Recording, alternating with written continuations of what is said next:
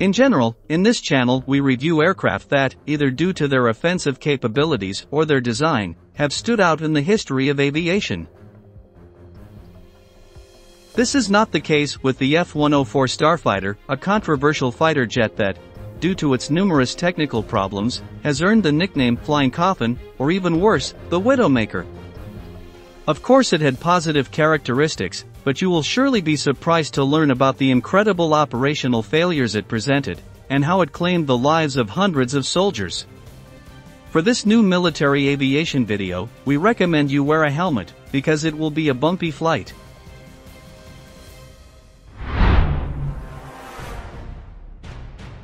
In December 1951, Lockheed Corp designer Clarence Kelly Johnson was returning from a meeting with U.S. Air Force pilots with one goal, to design the fastest ship on the planet. Lockheed approved his team's project in 1952, and by 1953 the U.S. Army had ordered two test prototypes. The first XF-104 flew within a year, and was recognizable by its missile-like fuselage, along with extremely short, broad wings.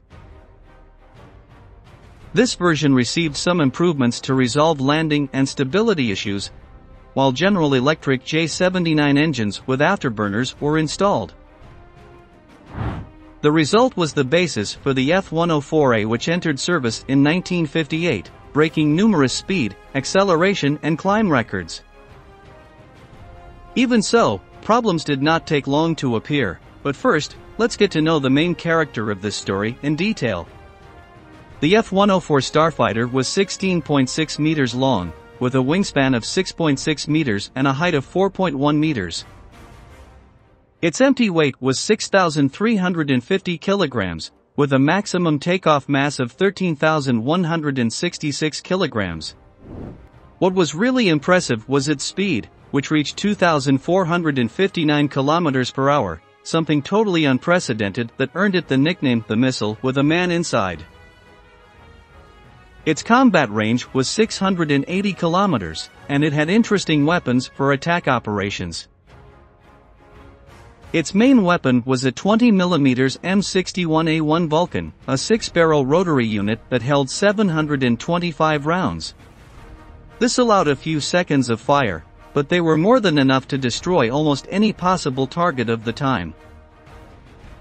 In addition, the F-104 had seven hardpoints with a capacity of 1,800 kilograms. These could house four AIM-9 Sidewinder missiles, as well as smaller bombs, rockets, and even countermeasure systems.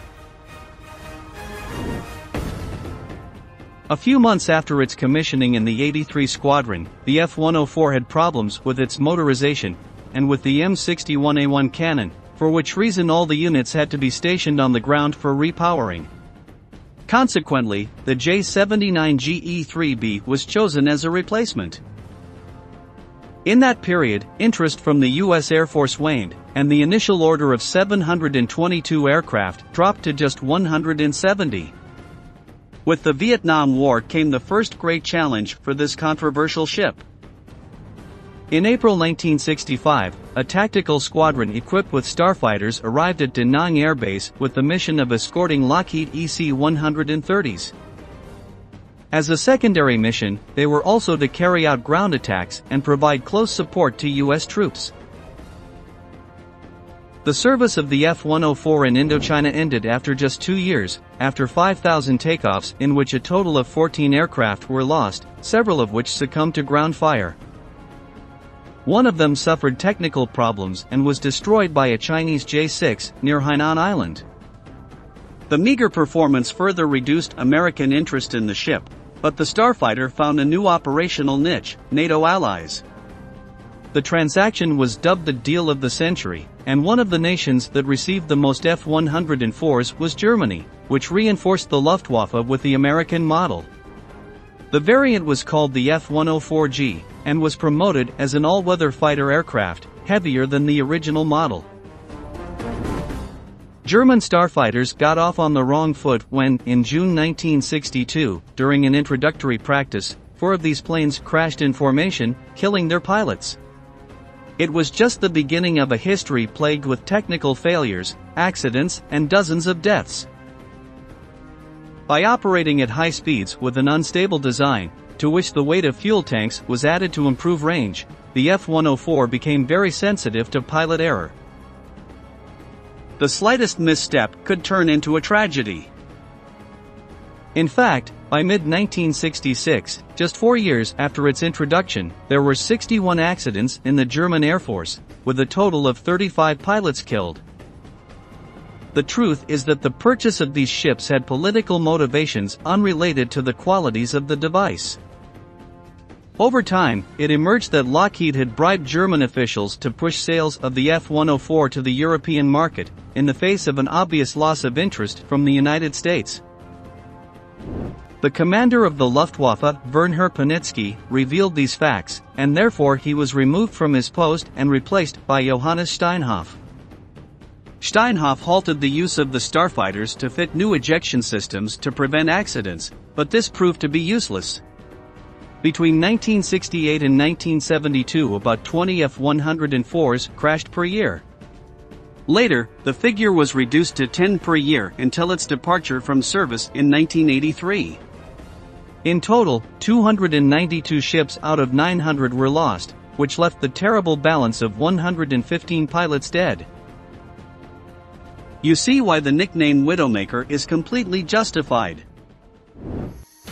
Other countries that suffered similar problems were Canada, with almost 110 planes crashed, usually due to bad weather, one of the many Achilles heels of the F-104. Italy was one of the last operators of this ship, until it was withdrawn from service in 2004. The Italian starfighters did not perform as disastrous, but still about 40% were lost due to technical difficulties or minor accidents. One of the main shortcomings of the F-104 was the size of the wings, which could not accommodate the landing system or fuel tanks. Everything had to adhere to the fuselage, reducing maneuverability and taking away stability when flying at high speed.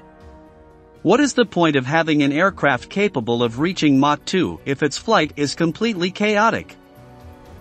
Another problem is that, by not having fuel tanks, the operational range of the F-104 was severely reduced.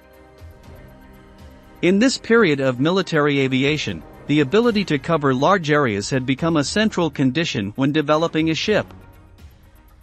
Lastly, the Starfighter had outdated avionics and its radar was not really useful in adverse conditions, so it could only use its Sidewinder missiles on sunny days and perfect clarity. The F-104 Starfighter is definitely one of the great failures of North American military aviation, and its consequences were felt more deeply within the German Air Force, where it claimed the lives of hundreds of pilots. Beyond its impressive speed of Mach 2, and its more than respectable firepower, the Starfighter's design was a death sentence for even the most experienced pilots. Its infamous reputation is more than justified. Thanks for staying until the end. If you want to know the history of other ships, leave your suggestion in the comment box below. We'll meet again in the next episode of Military Aviation.